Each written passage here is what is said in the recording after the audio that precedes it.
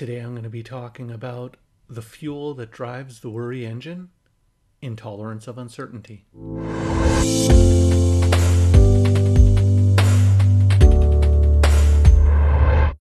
Hi everyone.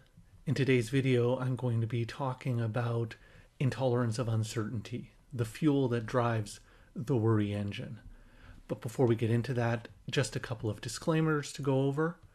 I am a registered psychologist in the province of British Columbia, Canada, and this video is for informational purposes only. It is not intended as a replacement or substitute for advice from your doctor or mental health professional. Now, with those two things out of the way, let's talk about intolerance of uncertainty. This video is the continuation of this series of videos that I'm doing on worry management. And in the last video, I talked about a model for understanding worry. And I talked about it as the bare bones engine of worry, the, the driving force behind worry. So if you think of that as the engine of worry, what we're talking about today, intolerance of uncertainty, that's the fuel that drives this worry engine. So, what is intolerance of uncertainty? Well, intolerance of uncertainty, one way to think about it is it's kind of like a psychological allergy. And if you think about how an allergy works, suppose I'm allergic to dust and I walk into a room, all it's going to take is for there to be just a little bit of dust in that room, and it's going to cause a big allergic reaction on my part. Sneezy, watery eyes, that sort of thing. Whereas somebody else who's not allergic to dust walks into the exact same room, has no reaction at all.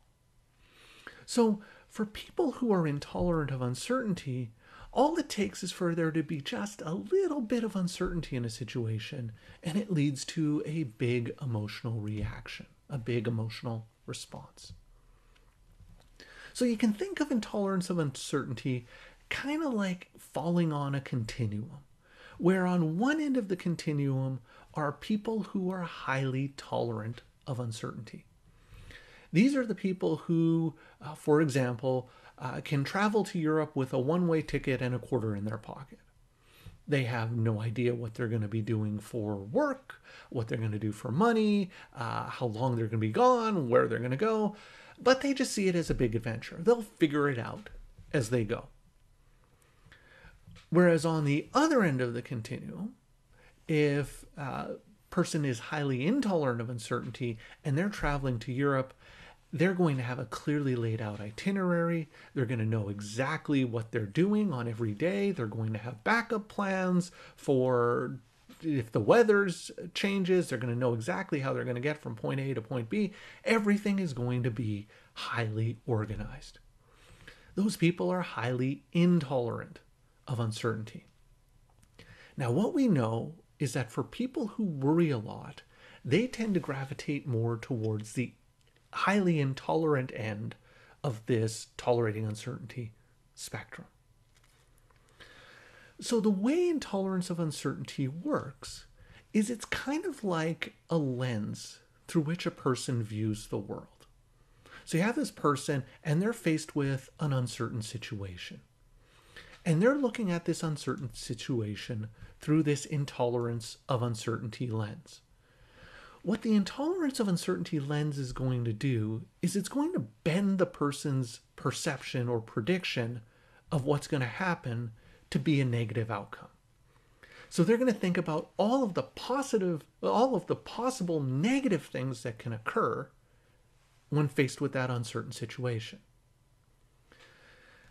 But you can probably also recognize on a logical level that uncertain situations don't always lead to negative outcomes.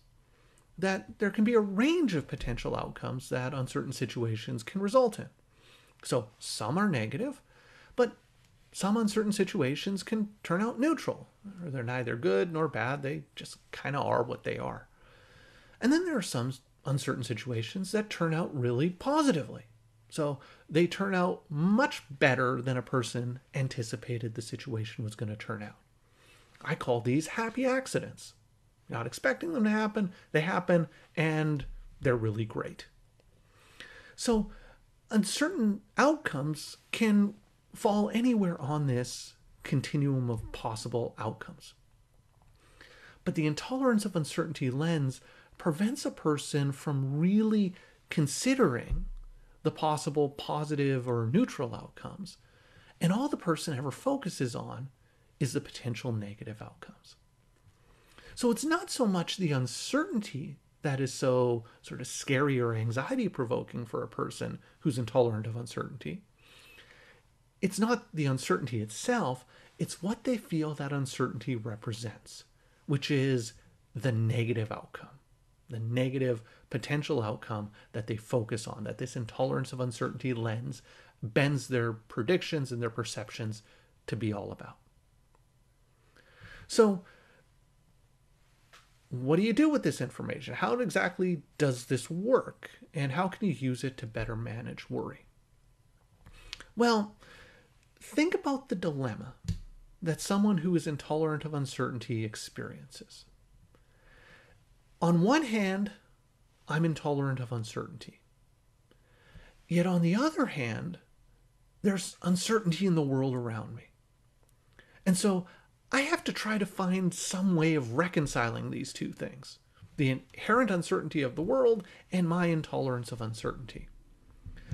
And invariably, what people do is they tend to focus on ways of trying to eliminate uncertainty in their world trying to control their world, trying to uh, be highly organized, try to seek lots of information, avoid things that they are uncertain about. It's all designed to try and eliminate uncertainty in the world. But how effective do you think that is? Do you think there is any way to fully eliminate uncertainty in the world? Well, the answer is no. Uh, if you think back to the original model of worry that I talked about, it starts with a trigger. And what I mentioned and what I pointed out is that anything can be a trigger. So anything can trigger worry, anything can trigger uncertainty. Any situation can have uncertainty associated with it.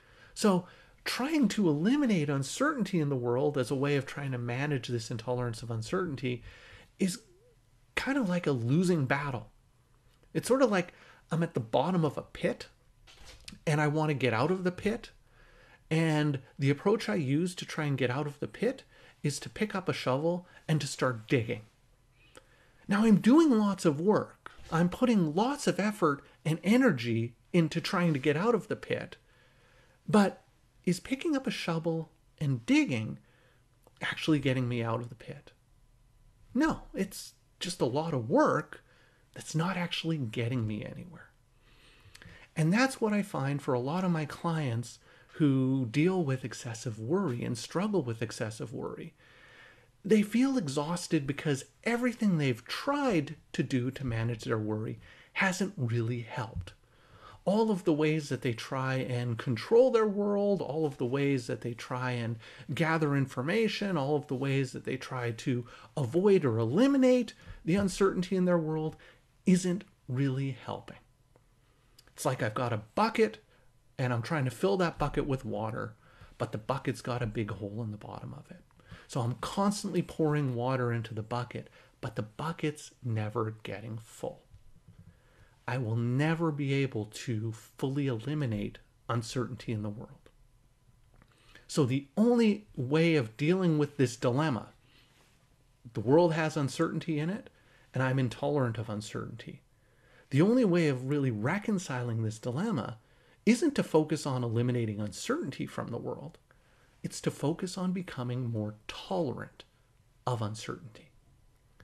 And that's one of the keys to worry management. So that's one of the things that we're going to be talking about in future videos. We're going to talk about how exactly you go about building tolerance for uncertainty.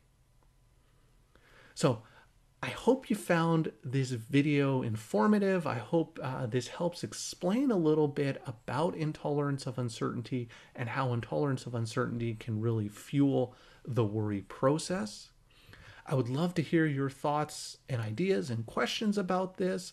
I'd also love to hear your ideas about future topics you'd like me to talk about, so please leave me some comments down below. If you're interested in seeing more of my videos or being alerted when I post a new video, please hit that subscribe button and you'll get notified uh, when I post a new video. So that's it for today. Thank you for making it all the way to the end of this video, and I will see you in the next one.